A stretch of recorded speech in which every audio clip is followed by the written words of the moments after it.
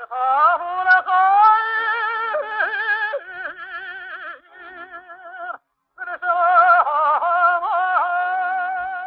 well-known Austrian author, Karl Emil Franzos, wrote about Tchernivtsi. Would you like to see a corner of Byzantium? Here it rises before your eyes, the metropolitan residence, a gorgeous edifice, and near by a magnificent cupola of the synagogue, a little piece of the Orient. He meant the Progressive Synagogue, founded by Lazar Elias Igel, the chief rabbi of Chernivtsi and Bukovina. This happened in 1872, when the Jewish community of the city had split into the Orthodox and Progressive parties. Design of the synagogue was commissioned from Julian Zachariewicz, a talented architect educated at the Viennese Polytechnic Institute, who by that time worked on construction of the railroad from Lviv to Tchernivtsi. In his design of the synagogue, the architect went for a novel, both stately and liberal style of romantic historicism, a style called the Viennese Renaissance by one of its creators, Theophil von Hansen. In the 1850's, Ludwig von Förster, Hansen's senior partner, designed two impressive synagogues, in the Tempelgasse of the Viennese suburb Leopoldstadt, and in Dohányi Street in Budapest. In these romantic historicist projects, Förster constructed a new Jewish style, as a combination of Moorish, Byzantine, and Romanesque elements, with certain references to the biblical descriptions of the Temple of Jerusalem. The pioneer of the romantic historicism in Tchernivtsi was Josef Hlavka, a prominent Czech architect, who was educated in Vienna. Deeply interested in the architectural heritage of Bukovina, he managed to apply the Viennese innovations to the design of the Orthodox metropolitan residence and the Church of the Three Holy Hierarchs, as well as the Armenian Church in Chernivtsi. Zachariewicz, like Hlavka, was seeking inspiration in local ethnography and art history. He was enchanted by the folk art of Bukovina and Galicia and became the first collector of Jewish paper cuts. An ideal plot for the new synagogue was chosen in the city center, far away from the old Jewish quarter. The compound was designed to have included, besides the synagogue, the caretaker's house and a landscape motif shaped as a Star of David. However, the caretaker's dwelling was never constructed.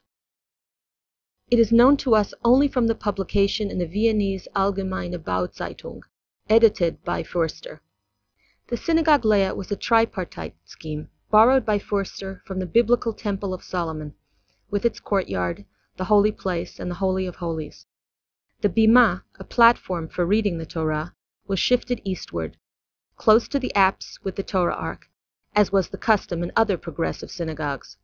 Zachariewicz employed in his design a well-tested mixture of historical styles, in which the Moorish motifs prevailed. A relatively new element was the magnificent cupola, an allusion to the temple courtyard, with the sky above it, and a powerful sign of the Jewish presence in the urban landscape of Czernowitz. In his construction, Zachariewicz used cast iron columns, an invention of the industrial era. These supports bore two tiers of open women's galleries. Their seats were arranged as in the theater, to enable the women to see and hear the service unimpeded. The main façade of the synagogue was flanked by two projections, housing staircases. These could allude to Jachin and Boaz, the two columns at the entrance of the Temple of Solomon.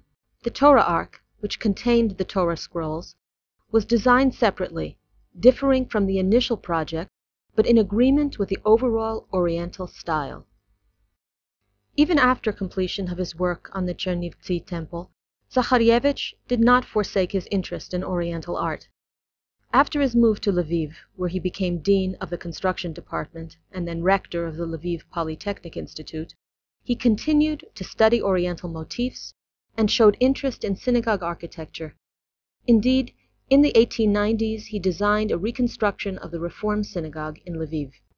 Meanwhile, the Progressive Congregation of Tchernivtsi accepted the project of their new synagogue with great enthusiasm.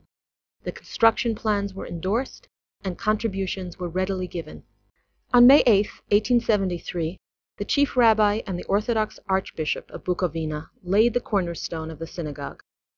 During the next five years, the temple of Chernivtsi was built under the supervision of the city master builder, Anton Fiala.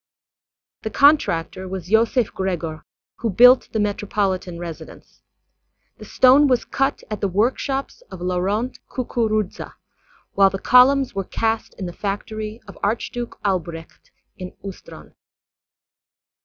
The sumptuous edifice, inaugurated in 1877, astonished the citizens and guests of Chernivtsi.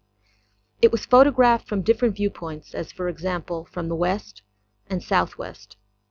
Together with other landmarks of Chernivtsi, it appeared in countless postcards inscribed with greetings from the city. The postcards often depict lively urban everyday scenes. In 1936, preparations for the 60th Jubilee of the temple had begun, and a year later the Book of Jubilee was published.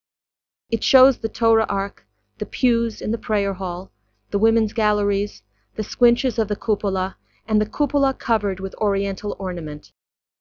In July 1941 the Nazi invaders desecrated the synagogue and torched it.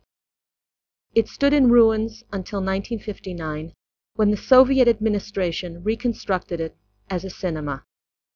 It acquired features of the Stalinist architecture and changed beyond recognition.